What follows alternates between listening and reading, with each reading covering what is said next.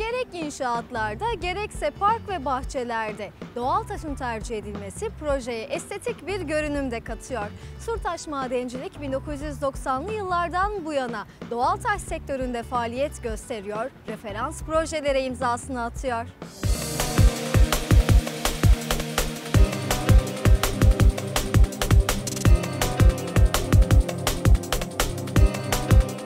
İnşaat projeleriyle beraber park ve bahçelerde de doğal taş kullanımı artıyor. Kullanıldığı yere göre proje ömrünü uzatan, yalıtım sağlayan, öte yandan projeye görsellik katan doğal taşlar çevre önceliğiyle çıkarılıp işleniyor.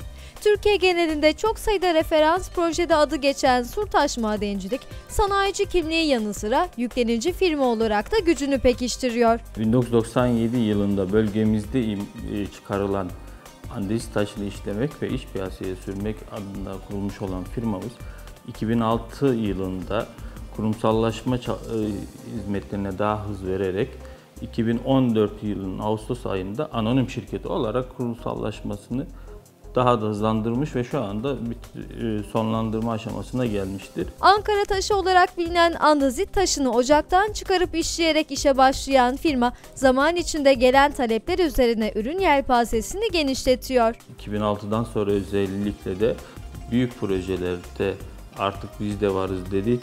Hem üretim hem uygulama aşamasında dediğimiz gibi kürsünün her iki yanında da olmak için çalışmalarımızı hızlandırdık. Şu anda kapasitemizin de belli bir yüzdesini kendi işlerimiz için ayırmış bulunmaktayız. Sadece andazitte sınırlı değil dediğimiz gibi granit, bazalt, e, traverten bu tarz e, ürünlerin de imalatını yapmaktayız.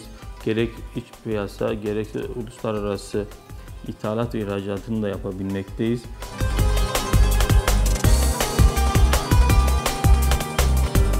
Ocaklardan sorumlu müdür Burhan Yıldırımoğlu, Türkiye'nin doğal taş zenginliğine sahip çok sayıda ilinde eş zamanlı çalıştıklarını söylüyor. Ankara Gölbaşı'nda andezit ocakları var.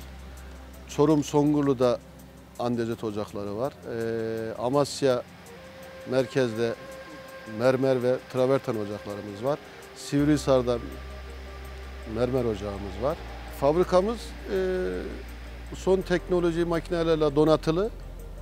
Üretimimiz ortalama 750 bin metre arası günlük kapasitemiz 1000 metrekare mal üretiyoruz. Ocaklardan çıkarılan taşlar göl başındaki fabrikaya getirilerek burada işleniyor. Yıllık 200 bin metrekarenin üzerinde bir kapasitemiz var. E, toplam 9 bin metrekare, e, bunun 2000 metrekaresi kapalı olmak üzere toplam 9 bin metrekarelik bir alanda faaliyet göstermekteyiz. 60'a yakın personelimiz vardır. Andazit, emprador, granit, bazalt, mermer, traverten. 6 çeşit taştan 30 çeşit ürün elde ediliyor.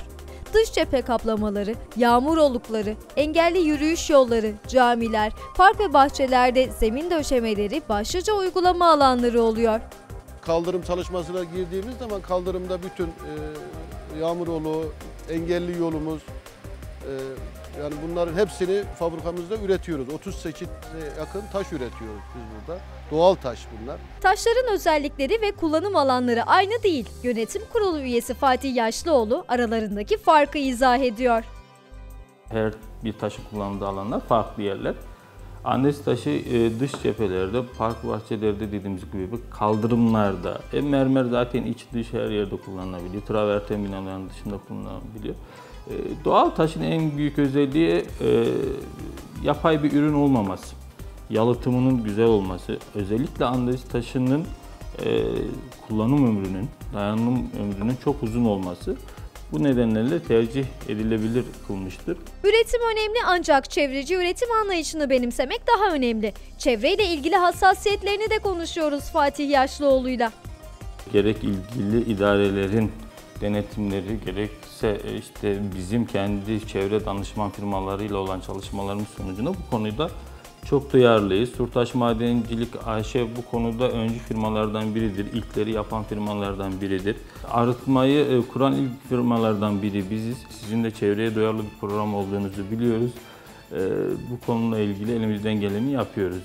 Firma uzun yıllar müteahhit firmalara çözüm ortağı olmakla birlikte uygulamalarda da artık adını duyuruyor. Amasya'nın e, yol kaldırım düzenlemelerini yapmaktayız. Kırıkkale'nin bütün iç cadde ve kaldırım düzenlemelerini yaptık. Samsun Çarşamba, Samsun Havza, Erzincan yani bir, şu anda aklıma gelen bunlar yurdun her köşesindeyiz. Ee, Birçok büyük müteahhit firmaların çözüm ortağı olduk. Bu konuda tedarikçisi olduk ki olmaya da devam ediyoruz. İnşallah bu gelişimimizi hızla e, devam ettireceğiz.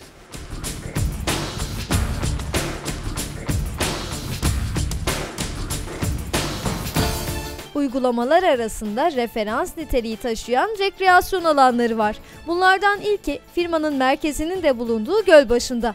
Tema Park 21 bin metrekare alana kurulu. İçinde kuş gözlem evi, kafeterya, mescit, çok amaçlı salon, piknik masaları ve kamelyalar bulunuyor. Gölbaşı'nda evet e, güzel bir park bitirdik. Hem buradayız biz, yerleşim yerimiz de burası bizim. Ee, kendi insanımıza, bölge halkına bu taraf, bu bölgede ilk olabilecek güzel bir park bitirdik. Sonra Ka- Sakarya Karasu'da bir e, taahhüt işi aldık. Onu devam ediyor şu anda ekiplerimiz. Tabii birçok uygulama projesinin ihalesinde artık biz de varız, biz de giriyoruz. Gölbaşı projesi kadar önemsenen bir diğer proje Sakarya Karasu'da sahil parkı ve rekreasyon alanı projesi oluyor. Şantiye Müdürü İnşaat Mühendisi Sertaç Karaca projeye dair bilgi veriyor. Projemiz Sakarya Büyükşehir Belediyesi'nin e, bir yatırımı. E, Karadeniz sahil şeridinde olan Sakarya'nın Karasu ilçesinde e, ve diğer Kocaeli Sakarya sahil şeridine örnek olacak bir proje. Projemizde e, 25 dönüm üzerine kurulu bir arazide e, hem sahil düzenlemesi hem bir park. 5 milyonluk bir bütçemiz var burada. Asma germe ile yaklaşık 1 metrekarelik bir gölgelik alan oluşacak. Bu gölgelik alanlar e, hem estetik açıdan hem geceli gündüzlü hizmet verecek yaklaşık 200 armatürle gece renkli ışıklarla aydınlatılacak bir proje. E, sanatsal yönü de var projemizin. 530 kişilik bir amfiteyatro, kültür meydanı, spor alanları, plaj futbolu için plaj tribünleri, e, her sene geleneksel olarak yapılan plaj voleybolu ve plaj futbolu turnuvasına ev sahipliği yapacak bir mekan yapmaktayız şu anda. Sahil düzenlemesi de bize ait bu projede. 300'e yakın şezlongumuzla e, güzel bir sahil bırakacağız inşallah Karasu'ya.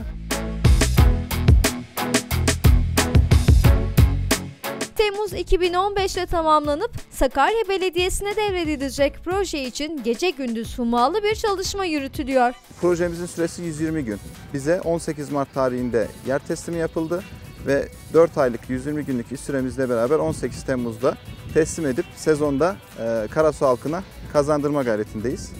Bunun için e, geceli gündüzlü çift vardiya olarak yaklaşık 100 personelle sahada çalışmaktayız.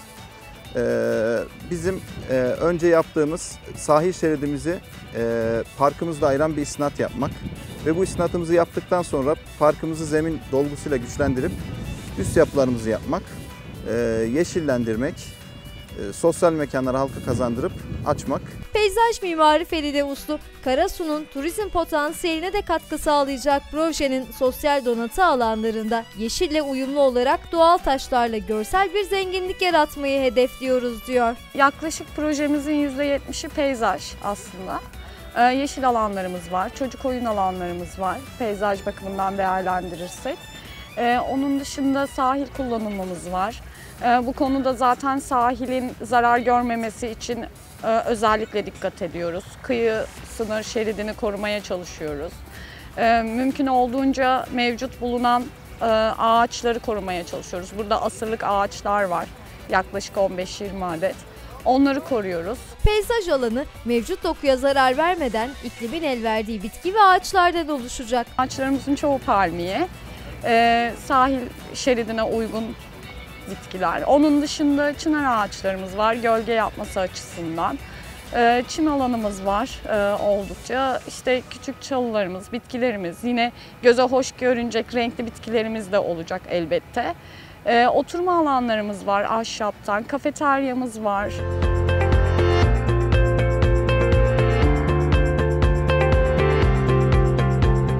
Yönetim Kurulu Başkanı Yusuf Yaşlıoğlu, Sakarya Karasu'da devam eden projenin başında bizzat bulunuyor. Her aşamayı yerinde gözlemleyip yönetiyor. Kat sektörü biraz ince ruhlu, ince çalışma gerektiriyor. Onun için de benim kadromdan da ekiplerimden memnunum. Bu ekipler bizlerle 15 yıldır çalışıyor, daimi çalışıyor. Biz sezonluk ekiplerle çalışmıyoruz. Bu projede de 6 mühendisimiz, bir mimarımız, kendi bünyesinde daim bulunduran elemanlar olarak, teknik kadro olarak, üretici firma olarak bütün taşın aşamalarını gerçekleştiren madenden çıkartıp yerine koyulmasına inşaat sektöründe veya park sektöründe yerine girene kadar bütün aşamalarını kendisi gerçekleştirmektedir.